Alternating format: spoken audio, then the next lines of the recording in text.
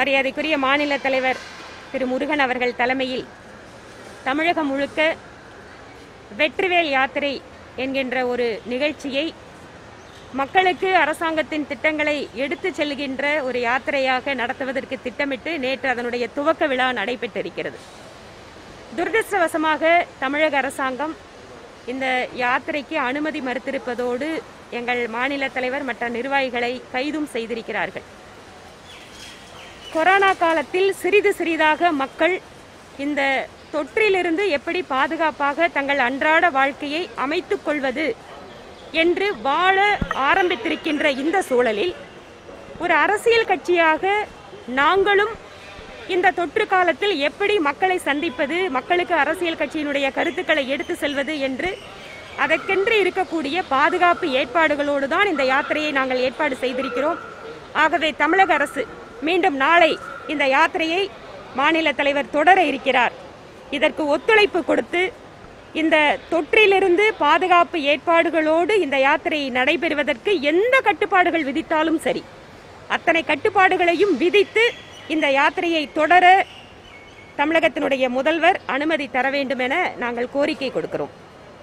இப்போ வந்து வந்து அதெல்லாம் ரெகுலரா பேசுற இதெல்லாம் அப்ப பாத்துக்கலாங்களா? ஃபிளைட்டுக்கு லேட் ஆயிடுச்சு. இந்த வேல் யாத்திரை பத்தி மட்டும் சொல்லணும்னு நினைச்சேன். ஒரு ஒரு வைரல் ஒன்று போயிட்டு இருக்கு ஓகே எல்முருகன் அவருடைய ப்ரோமோ அதாவது பிஜேபியோட ப்ரோமோ ஒரு பாடல் ஒன்று வந்திருக்கு. ஓகே அது வந்து எம்ஜிஆர் ஐயாவுடைய புகைப்படம் வந்து அடையாளம் தேவையா? அந்த பாடல்ல வந்து எம்ஜிஆர் ஐயாவுடைய புகைப்படம் வந்திருக்கு. இது எப்படி பாருங்க. எம்ஜிஆர் அதுக்கப்புறம் பிரதமருடைய புகைப்படம். அந்த பாடல் இடம்பெற்றிருக்கு அது நிறைய சமூக வலைதளங்கள்ல நிறைய ஒரு பேச்சு பாக்குறீங்க மரியாதைக்குரிய மறைந்த மரியாதைக்குரிய மறைந்த எம்ஜிஆர் குறிப்பாக பெண்கள் மத்தியில ரொம்ப ஒரு பிரபலமானவர். எப்படி பிரபலமானவர்னா அவருடைய கருணை அவருடைய பாசம் அந்த பெண்கள் மேல் இருப்பது.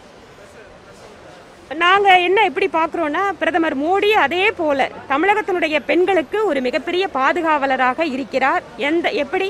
அரசாங்கத்தின் திட்டங்கள் வாயிலாக. அதை சொல்வதற்காக கலைப்பிரிவு அந்த புகைப்படத்தை பயன்படுத்தியிருப்பாங்க. இதில் ஒன்றும் தவறு ஒன்றும் கிடையாது. இருக்கலாம் தப்பில்லை.